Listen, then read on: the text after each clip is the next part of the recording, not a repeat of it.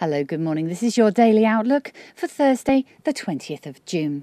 The euro dropped more than 160 pips yesterday against dollar, moving below 132.50. Look ahead for today's manufacturing data coming from Europe for hints of a weaker European economy. The US dollar reached a peak at 97.17 against the Japanese yen after Ben Bernanke talked up the dollar. Markets got hints of a possible unwinding of excessive monetary easing that would mean further dollar strength.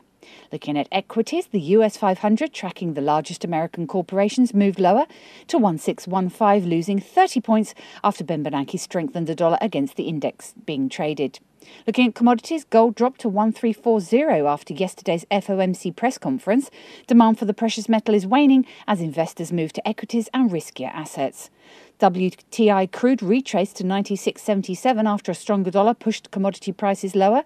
Over the medium term, crude prices have failed to move more than over the 100 level and look for lower equilibrium.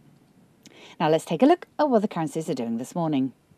The euro dollar pivot points at 133.70 with a preference to enter in short positions at 133.70. The dollar yen pivot points at 95.25 with a preference to enter into long positions at 96.68. The Aussie dollar pivot points at 0.9435 with a preference to enter in short positions at 0.9435. The sterling dollar pivot points at 156 with a preference to enter in short positions at 156. And the dollar CAD pivot points at 102.30 with a preference to enter into long positions at 102.30. Looking at commodities and indices.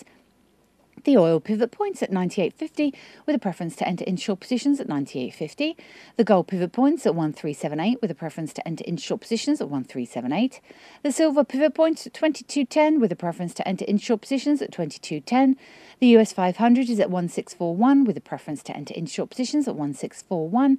And the UK 100 is at 6307 with a preference to enter into long positions at 6307. Of course, for more up to date information, please visit us at easy-forex.com.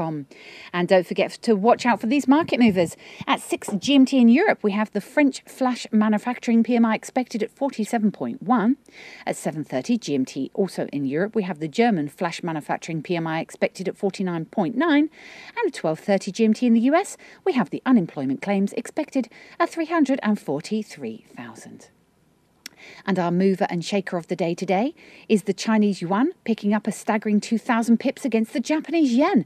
The pair moved higher to 15.8350 as the yen weakened across the board. Look for resistance at the 15.86 level before a possible breakup even higher. Thank you for tuning in to our daily outlook. We look forward to seeing you again tomorrow. I'm Emma Andre from the Forex Dealing Room. Have a great day. Not only have you found a great place for Forex news, you found a great place to trade it. Registration is easy. Just click Join Now. Membership has its unique benefits, such as the freeze rate, the trade simulator, the inside viewer, and personal dealers. Your personal account manager waiting for you now.